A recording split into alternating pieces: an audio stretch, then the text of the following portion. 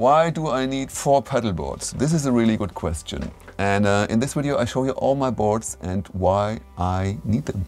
Here you can see all my four boards uh, I have now. The, the fourth board is more a prototype, it's not uh, set together, but the, um, the other three I really need all the time. This winter I am going on tour with, um, with, an, uh, with a band uh, and I have maybe, I think, 21 shows. And in this band I have to play a mandolin, I have to play a banjo, and I have to play a nylon guitar, and I am playing my electric guitar stuff. And normally I have an amplifier, a Fender amp, a Princeton or something, or a deluxe reverb, and I have a Two-Rock amp simulation, and then I have to put together all those instruments. And um, this year, this winter, I wanted to change something. I wanted to put everything into one device, and this is the, the Fractal FM3. I'm going with my electric guitar and the um, acoustic instruments into the Fractal, and then I'm going out into the PA. I have one pedal board and all my instruments going into this thing, so I don't have to I don't have to take an amplifier with me and uh, an Ox Box or a Two-Rock uh, uh, simulation for the cabinet, so I don't need it. So this is the board I put together. This is the FM3 from Fractal. And I'm using a Morningstar MC8 with the integration here. I show you in a minute. And then I put together some pedals. You can see it here. This is a volume pedal. And my signal goes right into the more or less from GigRig because I want to have every time uh, the control of the volume. So when I go down with the volume, I don't want to hear anything. And at the same time, I want to be able to tune my guitar. This is really important because sometimes in the middle of a song, I have to tune the guitar. You know, we are playing outside. It is a TV show um, we do outside and uh, sometimes there's moist, moisture and there's uh, the temperature is um, yeah uh, changes really fast. So I always have to tune the guitar there. So I go down with the volume, tune the guitar, and come back. This is the thing I always wanna wanna be able to do. This is a, um, a Lehle expression pedal, and this goes into the the express, expression input from the fractal here. The signal goes into here into the more or less. So this is the volume pedal, and the volume pedal has an expression pedal um, and is controlled here by the cork pedal here. And then the signal goes out into the fractal. And what you can do with the more or less, you can go out into a tuner. This is really nice. I love that because, as I said, I want to be able to tune every time. Um, yeah, that's it. So This thing is an expression pedal too. It's really nice. It's built by Looperwerk, Looper, Looperwerk in Germany. And um, he does some great stuff. Check out the website, looperwerk.de. And uh, this is a nice expression pedal to, um, yeah, we have maybe a delay mix something or, or the everything, everything you can control with expression. So I'm not sure if I'm going to use this, so I put it here. Maybe I use it, maybe not. I don't know yet. So, and this is really interesting because you can combine the MC8 with the Fractal. The um, Fractal is able to use or to communicate with the FM3. There's a, a special function here the Morningstar put in, uh, and you can uh, push the button here. And as you can see, I'm using the, the preset control here. Every time I, am changing a preset, maybe I'm going to this preset, it changes here. And what you can do, you can, um, you can get every scene from your preset on, on this um, MC8 here. So eight scenes. I only use four most of the time. Most of the time I have four. Sometimes I have five or, or two or one. So it doesn't matter. But what you can see here, you can see always the scenes you put together. So here is scene four, it doesn't work, uh, or I, I don't have a sound there. Here I have three scenes from the fractal. And here you can see how the, the scenes are changing. It's really fast. There's no lag or something. This works really fine. And when you change the sound while you play, it's really, there's no lag. There's no latency or something. It works really great. So this is really, really nice to work with. Yeah, sometimes when I only have one scene, I put in uh, a dot into the scene name. So I see, okay, I have only one sound here. Maybe I have four sounds. And then you can see I put in um, the dots up here. So I see, okay, four sounds, that's it. The, yeah, it makes it easier to see uh, to see what you have, you know. So the setup is um, programmed like this. When you do a long press here, you go to the next three presets. One press, you get into the preset, it changes here. That's it. When you do a long press on the middle button here on the FM3, you can get into the, the second view of the FM3. So if you don't know anything about the views, you can program four views for those three buttons. And uh, this is another story, but this is really nice when you want to go deeper into the functions of the, of the buttons here of the FM3. So I have, when I press, when I do a long press, I, I come to the second view and there's a tap tempo and a tuner. I can use the tuner here, but I don't need it because I have one here, so no problem. But I need the tap tuning, uh, the, the, the tap tempo sometimes.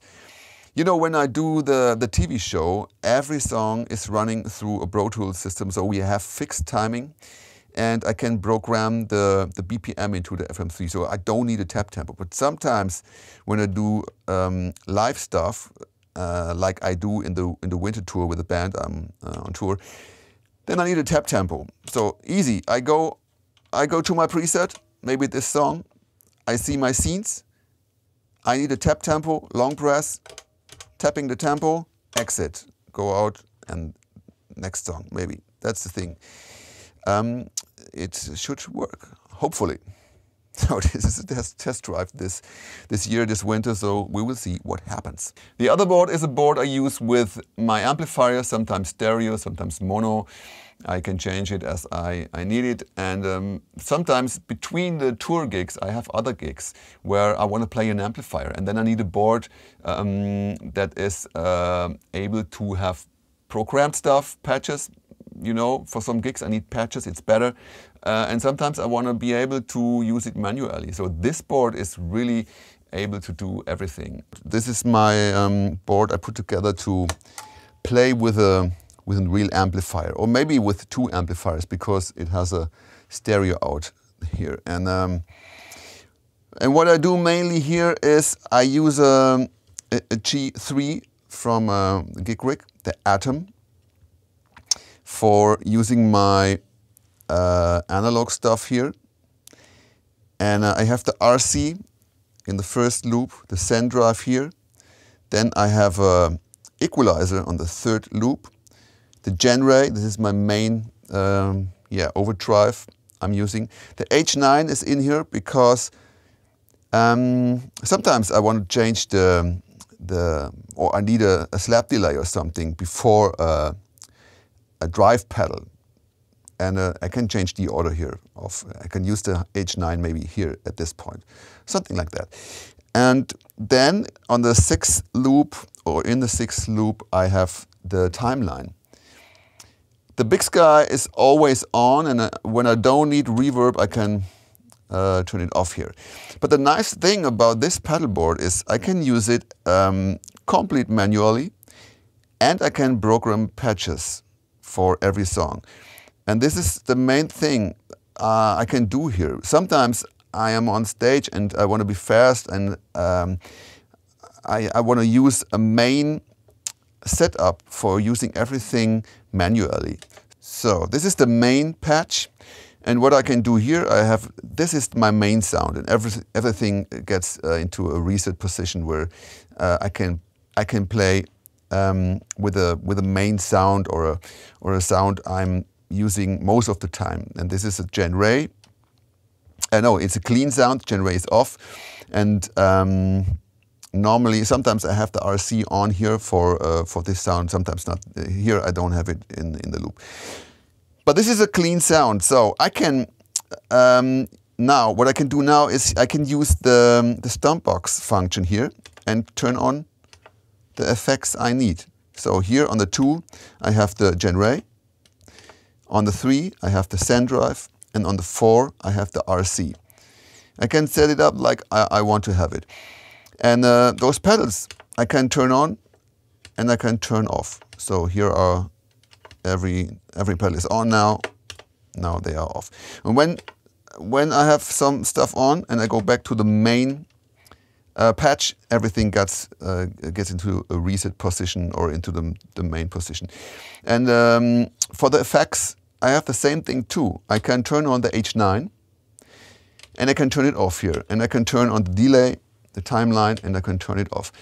So what what I can do now with the MC8, I can um, say I have my patches for those digital effects here in the M, uh, in the MC8. As you can see here, I have put together some um, folders for my effects. So what I can do now, I can turn on the H9, but uh, I want to have another effect here. I can go into the folder and I can say I want to have a vibe. And um, in the same moment I push, I push the effect here, it goes back into the main page. And uh, I have the vibe on. I can turn the effect off here if I want and I can turn it back on. So this gives me full control of, of the manual settings here. And this is the thing I really like when I'm in a studio and I want to be fast. So I don't need patches. I want to be able to get my effects I need here. The same thing I can do with the delay. I can uh, turn on the timeline and I go here, I can go into the folder for the timeline and then I can uh, say I want to have a, a, tape delay here. And it jumps back into the main page and the tape is on here. And if I don't need it, I can turn it off. Going back to the timeline, maybe I want to have another delay sound. Turn it on, it changes, goes back to the main page. So this is the workflow it, that really works for me because it's fast and I always can see um, what I'm doing and I see if it's on or if it's not on and this, this works for me really good. And the, for the big sky, the same thing. I can um, go into the folder for the big sky and, and I can say now I want to have a plate sound here. If I don't need the reverb, I can turn it off here. So I don't need an extra patch because it is always on in the signal, you know. And uh, this is good because I can go stereo out into a patch box and go uh, can go stereo with a uh, reverb into the amplifiers. The only thing that's not stereo is these two things, but I could put them here into the into the patch as a stereo uh, effect, but normally I don't need it, so I did. I, I left it mono. It's uh, it's okay for me. So this is how uh, this board is set up. But the next thing I forgot here, uh, you can uh, program patches. So what you can do, uh, I don't need those up and down patches normally because I have programmed my setlist here. The setlist function or the, the, the, ordering of, this, of the songs in this MCA, MCA, the Morningstar MC8 is really nice because you can program um, the setlists uh, really, really nice with the, with the application on a, on a laptop. So what I can do, I can go into um, a setup here this is uh, these are the songs of my band, my music. I can go in here, and this is the first song of the setup. And what what happens when I go into the first song of my own of my own stuff? The setup changes here. This MC8 says what the the preset or the bank has to be on the G3. So MIDI out, G3, it changes. When I have a gig and I have the next uh, song after this, I can make a set list here and I go easily to the next song. I have a next button programmed here. So I go to the next song. Um, and then I have to go to my sound. I don't need the, the, the G3 because I have um, a program change uh, thing here going on with uh, the sounds I need, you know. And you can see it changes the patches here. So when I do my own music with my own band, I only I only need the MC8 for changing the programs here. Why do I use a G3? And um, maybe you know, I could use a I could use this thing from Morningstar to program my stuff. It's also six loops, and it's it's smaller. Why do I not use this thing?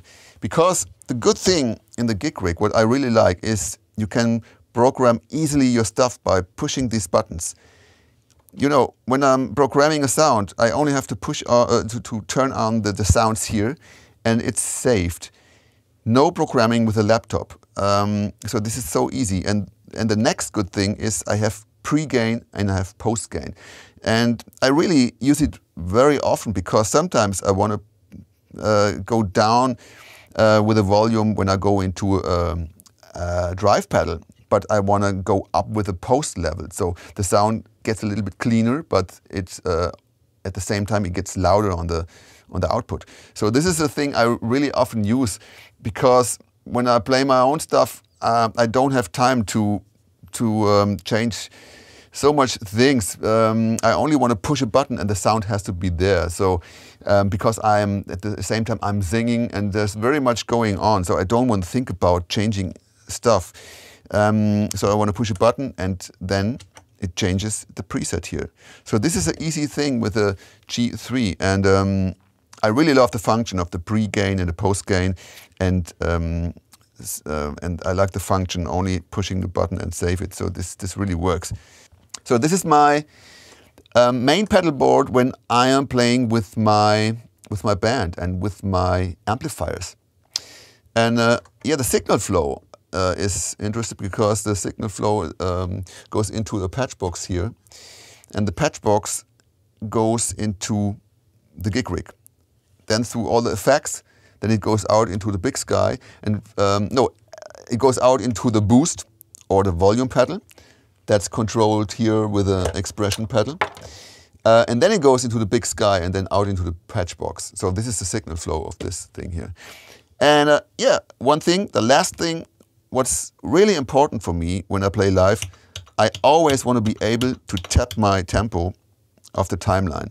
And it should always be on a, on a good spot where I can reach it and not be somewhere here. So I, I use the expression port of the timeline to use a tap delay. This is really handy. And uh, this thing is from Looperwerk too. Um, you can go to the website uh, looperwerk.de. It's a German website and he builds those things. And this has the Lehle button. And this is this is really smooth stuff here. I I love it because um, yeah, it works great. Um, that's it. That's my second board. And then the third board is a, smaller board for little gigs. It's everything manual, but I have everything in there I need. So when um, when the other stuff is somewhere in a in a truck and on tour with some band, I always have this board here in the studio for recording stuff. This pedal board is for smaller gigs where I only need maybe some sounds or the, the essential sounds for doing gigs or having a studio session. And um, that's the board. And um, I have a patch box here. I go in, uh, into the uh, tuner here. This is the first thing. And uh, after the tuner, I'm uh, going into the, um, no, all the effects. Tuner out and into all the effects. So the, the Voodoo one is the first one. I sometimes use it, uh, use it to push the the input of the guitar a little bit more so I can turn down the guitar. So this is a good boost for, for doing that. Um, maybe you know you have a, a humbucker guitar that has high power output. Uh, it's maybe off and then when I have a Stratocaster I want to push a little bit the input so I have more uh, volume or gain control with that. So uh, and it uh, it's a nice sound. It's um, uh, yeah it it's um, it, it, has some grit. It has some a little bit drive here and the and the output is full full uh, on 100%. So I have some uh, more gain control. So that's the thing I do here. Then I have uh, uh, the, the Halcyon, or what is it called? I always forget the name. Halcyon, Halcyon, Cyan, Halcyon, I don't know. Uh, from Origin Effects, really great uh, um, uh, tube screamer-like pedal I really love. And um, then the Dualist, two channels. I think the first channel I use is always drive B here. And when I need a little bit more power, I can turn on the other one. So this is the, the third um, drive pedal. Then the next drive pedal is a um, SH9. It's a SD9 clone, the Scott Henderson version, really nice distortion I sometimes use when I need a li little bit more distortion. And then I go into the equalizer and in the studio, as you know, it's always nice to have some control over your um, yeah, your um, spectrum of the sound. Maybe you, you don't need the bass because you have a, a, humbucker guitar with more bass and you turn it down. Maybe you want to do a telephone small amp kind of sound, then you do this. Uh, maybe you need a little bit more push in, in, in the solo.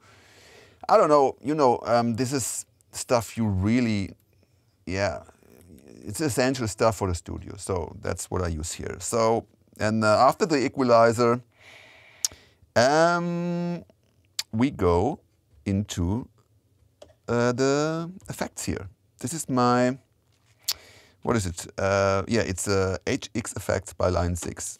It's the bigger version from the HX Stomp. And I always love the Line 6 stuff because you are so fast with um, changing effects. So let's say you have a tape delay and you can hold you can hold the button here and it goes into a sub menu where you can change all the stuff and then you go out and um, you can save it or maybe not save it. I don't know, in the studio session you don't have to save it. And I have, normally I have a, a main page here. I can go in and uh, I go into the other mode where all the effects uh, are and I can turn it on or off, all the stuff I need. And when I need another effect, I can maybe program another patch with other effects and uh, you know, you can do everything with that. You can go banks up and down. Great, great sounding effects and um, I always used the, um, the M9 from line 6 um, and the M13 before, but it was too big for me, so I used the M9. And uh, these effects are a little bit newer. It's an update in the effects quality, so it's a little bit better sounding. But the effects from the M9 are still in here um, as a legacy version. So check out this stuff. Maybe some guys of you know know it already. Good good stuff here. Um, and then after the effects, after the after this, um, I go out into the patch box. The flint here, the reverb, is um, in the effects loop of the of this thing here. So when you go into effect um, and you can see the the order, the signal flow, you can see I have an effects loop here. And um, these these are two effects loop. One is the volume pedal or the boost. This is the boost. It's in the effects loop, so I can always push the sound for some um, dB up for a solo or something. I always want to be able to have some dBs for a solo. And then there is another loop um, with a reverb because sometimes I want to use the trem without the reverb and put it somewhere else so I'm able to change the, the order here. So a really flexible setup. Uh, everything is manual. I don't have to program presets. It's everything manual. Um, yeah, and this is my third board for um, studio jobs or uh, smaller gigs. Yeah, and this is my this is my fourth board, and uh, as you can see, it's a total mess because it is a prototype. And this prototype, I really like those uh, power, uh, by the way, those um, power supplies by Strymon, the OJ and the Zuma. Really great stuff. Um, I often use. So I use, uh, normally I use the, the Strymon power uh, uh, supplies or the, the Cioks stuff. This is really good.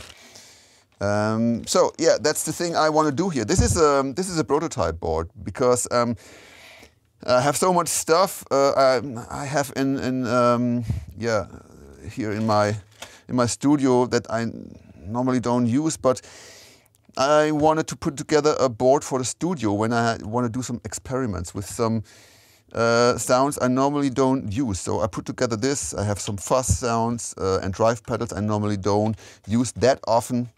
Uh, all that stuff that can uh, that I can use um, in a studio session. So some um, some digital effects here, uh, the the, womp, uh, the walrus stuff, delay, um, the modulation effect, and the reverb. Um, and, a, and a nice delay for some experimental stuff, so with lo-fi sounds, all that stuff uh, I want to put together on this experimental board for studio work. So it, this is a, as I said, it's not it's not finished. There's no nothing in there, no cable. I have to put it together. But when I have time, I want to do this. So this is the fourth board. Thank you for watching. This was a really nerdy video with all my stuff I have here. And uh, I know it gets sometimes out of control, but this time I think I have three boards I really like, I really love, and I can um, use every part of it because yeah, every board has a reason to be there and uh, to be used. So the fourth board is a, a, little extra, a little prototype I may put together next year. So yeah, this is the reason why. And um, thank you for watching and um, see you in the next video here. Uh, thank you for subscribing and push the bell if you like, uh, if you like the videos. Thank you so much. See you in the next video. Bye bye.